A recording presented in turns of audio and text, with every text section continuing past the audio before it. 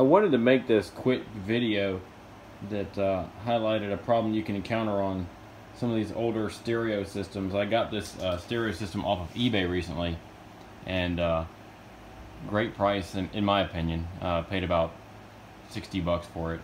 I think that included free shipping. So um, fantastic system. It was uh, really super clean. Everything seemed to work. The shipping was awesome. Whoever sold it really, you know, took their um, their business seriously. So anyway, very happy with it. Got hooked up to a test uh, Bluetooth speaker here with an auxiliary input on it. Um, and everything's been good. Well, I haven't tested the record player yet, but the one thing that came up was the uh, cassette player would not play. And I thought, well, you know, uh, the belts must be bad. So I picked up these belts here from China. You know, a bunch of belts. Uh, but then when I got into it, swing around here, what I realized was what had happened was, I don't know if you can really see this here, but there's um, a flywheel spinning here. That's what helps it keep in, you know, a steady, smooth pace of playing a cassette without a bunch of fluttery uh, noise. Kind of would make it sound garbly if you didn't have that. But anyway, uh, what I noticed was this, I wouldn't have had the right belt anyway, but this belt was in perfect condition, but had, had just slid off. Uh, maybe it was due to shipping, maybe it's because it sat for, you know, a number of years, and in that time, uh, perhaps uh, it had maybe stiffened a little bit in its position, and when the first time it was played, it may have kicked it off. But if you can see up in there, um, it sits on uh, that little drive spindle up in there. I'll try to zoom in up in there. So it sits on that, and that's what turns this flywheel. And uh, anyway, it just come off. That's all it was. So I kind of worked it back on and, you know, spun around and got it going again. And to my surprise, I mean, the belt's in a really good condition. It's still very flexible. Uh, and it can, it still worked. The music plays fantastic. I'll play just a brief bit of the music. It's copyrighted music, so don't want to get my channel banned or anything, but uh, it's very, very smooth.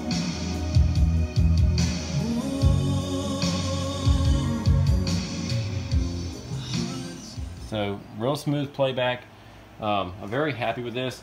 You know, for any anybody who's into older nostalgic um, electronics and things like that, uh, I've found over the years that for some reason Yorx is just an overlooked brand. I know it was never really highly regarded, high, highly respected brand. But, I mean, although it may have never been a Sony or a Panasonic or, you know, one of the, you know, high-end other brands that, uh, you know, were out there during the 70s and 80s, especially the 80s. Um, that, you know, some of their early stuff isn't really that bad.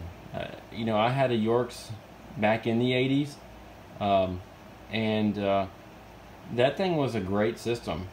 Um, I, in fact, I got it uh, from a dump. Of course, we were real poor when I was a kid, so going to the dump was a, like going to the mall for most people.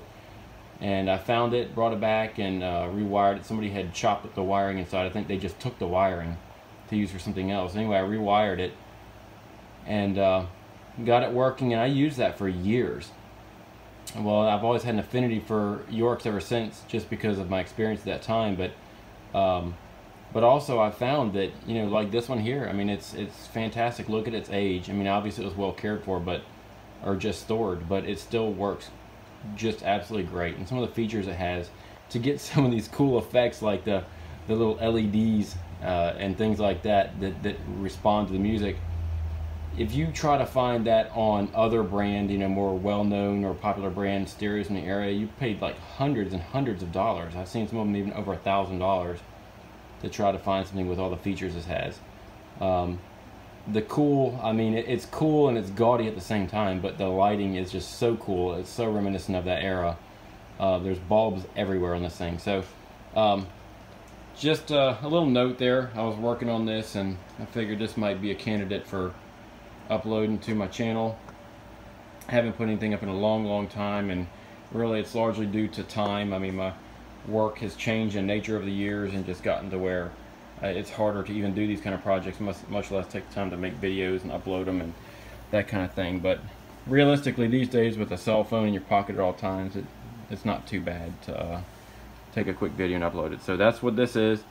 Uh, if you guys have any interest in, you know, more videos along these lines, you know, let me know. I'll be glad to upload them whenever I work on these types of systems. I I do all kinds of different things. You know, sometimes I work on uh, old arcade machines. Sometimes I work on new arcade machines.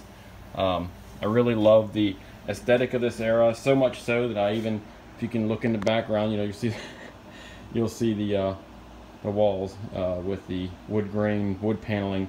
I've really gone all in. I mean, we used to live in a new house with all the new stuff and sheetrock, and, and for 10 years, and I just hated it.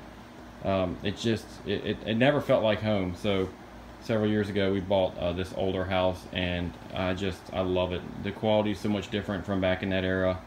Um, but anyway, so I really enjoy working on older equipment and and things, you know, from the really anytime 50s 60s 70s 80s i really think the quality of everything just started to just fall apart during the 90s and onward so.